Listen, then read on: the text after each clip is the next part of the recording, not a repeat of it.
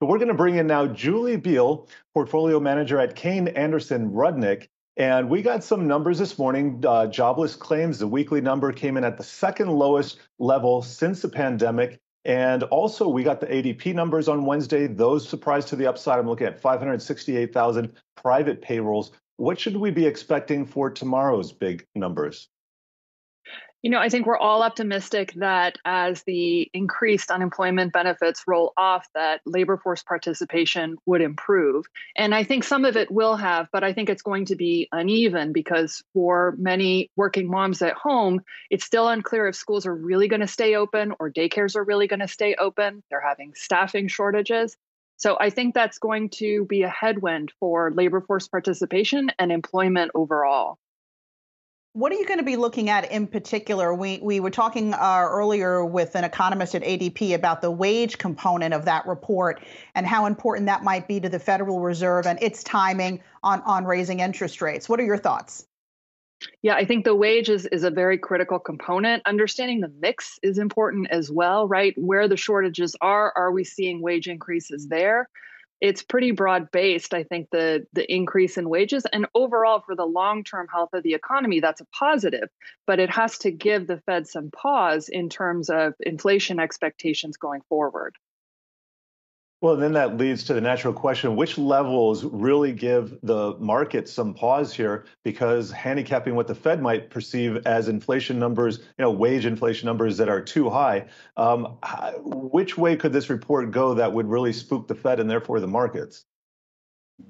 Well, I, you know, it could go any number of ways where the Fed has to be thoughtful in terms of managing growth expectations versus exposing us to risk of inflation. And so, you know, generally speaking, for the last few years, the worse the economic news was, the better the market reacted because it meant the Fed wasn't going to pull the punch bowl away. But now we're getting into a place where we may have weaker economic growth, higher inflation, and that could be problematic for the Fed. They're really kind of painted into a corner of wanting to control inflation, but also being aware that the Delta variant is having an effect on the economy. So it's a tricky position for them to be in.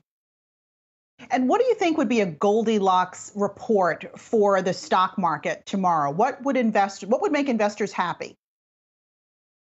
It's hard to know what makes investors happy.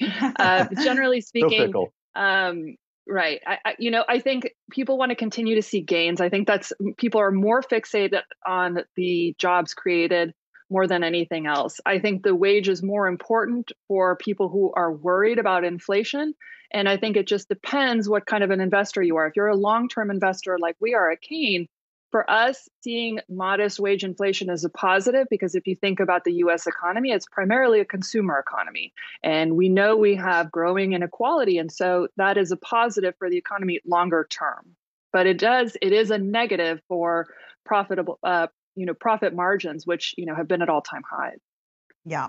Julie, I want to switch gears and step away from the jobs report because we got some breaking news regarding corporate taxes and would love to get your reaction. So, the Wall Street Journal is reporting that Ireland has decided to join a deal for a global minimum corporate tax rate.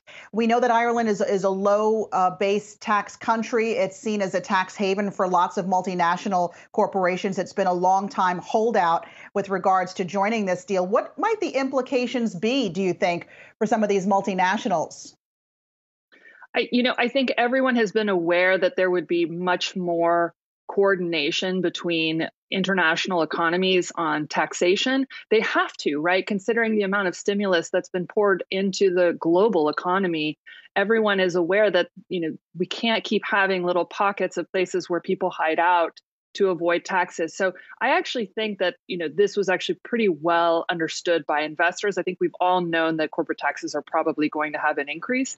And you know the decline in corporate taxes that we saw previously under the Trump administration, it didn't have quite as much of an outsized benefit to the economy or even the stock market as everyone assumed it would. So I don't think it's a it's a huge problem. I don't think what people are raising is you know massively different than where we're at but it's something to keep in mind for sure.